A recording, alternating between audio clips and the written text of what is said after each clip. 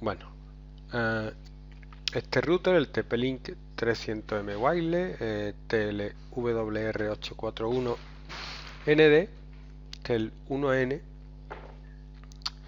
este modelo tiene la capacidad de permitir DHCP. ¿Qué es DHCP? Pues esto sacado de Wikipedia directamente significa Dynamic Host Configuration Protocol o protocolo de configuración dinámica de host.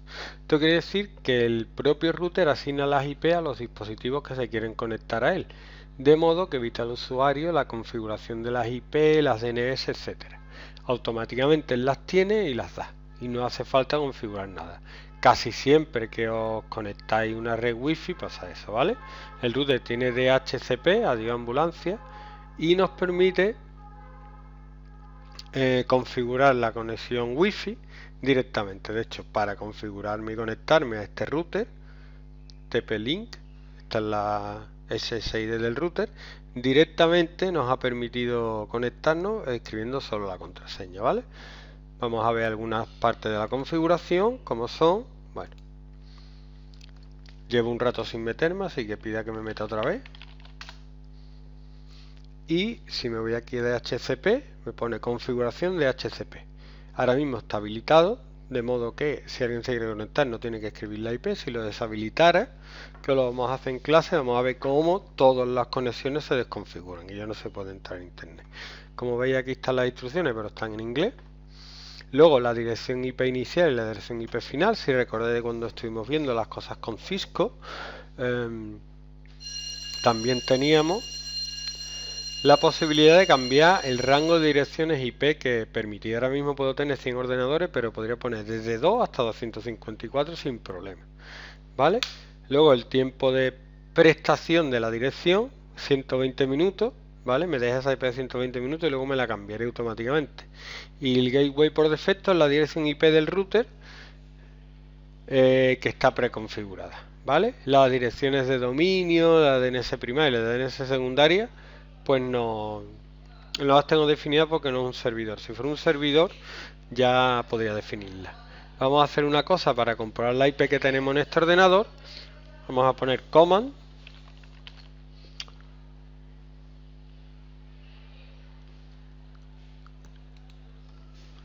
La línea de comando. Y vamos a poner ipconfig para que me dé todos los datos de configuración de las IP. ¿Vale? Tengo un montón de redes habilitadas, pero ya que me interesa a mí es esta. Podemos ver aquí que la, la Wi-Fi Qualcomm Atero 3, vale, wireless, eh, la dirección BIS física de HCP habilitado, sí, configuración automática habilitada, sí, Vínculo, dirección IPv6 local, pero yo no quiero la IPv6, yo quiero la 4. Y fijaros que la 4 es la 100, que es la primera. ¿Vale? Vamos a probar una cosa, vamos a cambiar. Vamos a desconectar y luego vamos a volver a conectar. Vamos a suponer que yo cambiara aquí y pusiera 50. ¿Vale? Y la última la voy a dejar igual y voy a guardar. Dice, el cambio de HCP no tendrá efecto hasta que este dispositivo se reinicie. ¿Vale? Dice click here to reboot. Haz clic aquí para reiniciar. Se me tiene que ir la wifi. Se me tiene que ir. Cuando haga reboot, se me tiene que ir. En un momento se me irá. Ahora está reiniciando. Y cuando reinicie, se me va a conectar el, el, ordenador a la primera IP que encuentre. Ya no va a encontrar la 100, ya va a encontrar la 50. ¿Vale?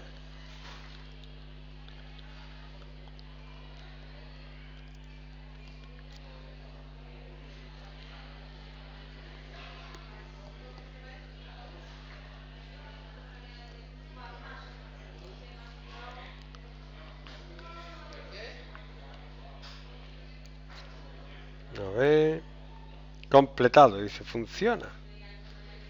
Conectando a red, se ha conectado esta, me voy a conectar a esta, que es la buena.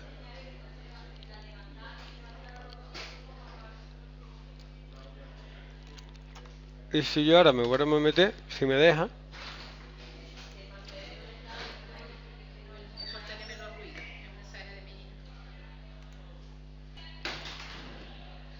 Bueno, el navegador es un poco tal que así. ¿Qué le vamos a hacer? Está conectado pero no me sale la configuración. Se ha quedado con la configuración de antes. Voy a entrar otra vez por aquí. 192. No, se me queda grabada la página de antes. Además no actualiza. De todas maneras, no pasa nada. Voy a ver aquí. Si escribo otra vez ipconfig all y me vengo aquí a la de router, me tiene que salir a ver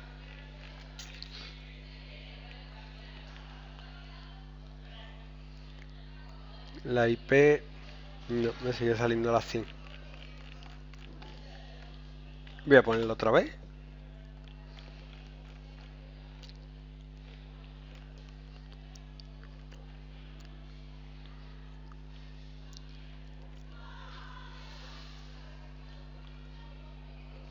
Mm, pone preferida. O sea que me asigna la 100, lo que hace es guardar la IP, porque como ya la ha tenido bien, prefiere tener la 100 a tener otra, aunque el dispositivo me permita la 50, ¿vale?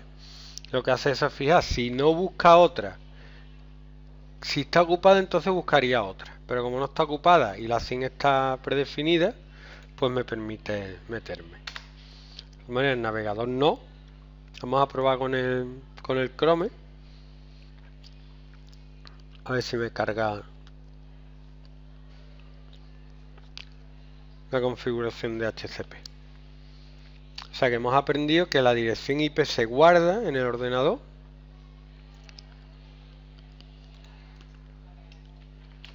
Vamos a poner 122.168.01. ¿Eh? Aquí si me deja.